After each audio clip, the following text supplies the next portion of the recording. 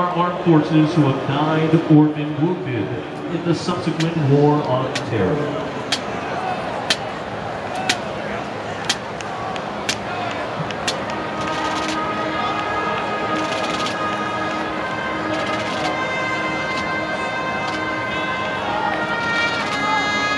we honor the 87 passengers and crew of Flight 11 and the 60 passengers and crew of Flight 175 which struck the World Trade Center tower.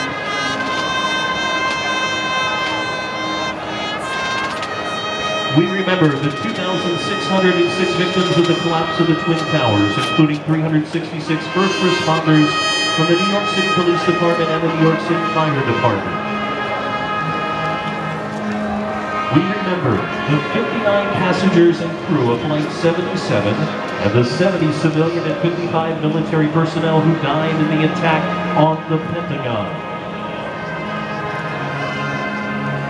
We remember the 40 passengers and crew lost in the crash of Flight 93 in Shanksville.